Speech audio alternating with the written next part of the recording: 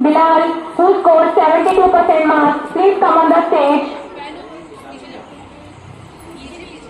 मैं चाहूँगी हमारे principal Mr Akash Pasha sir Bilal को मेडल पहनाकर उन्हें मुबारकबाद पेश करें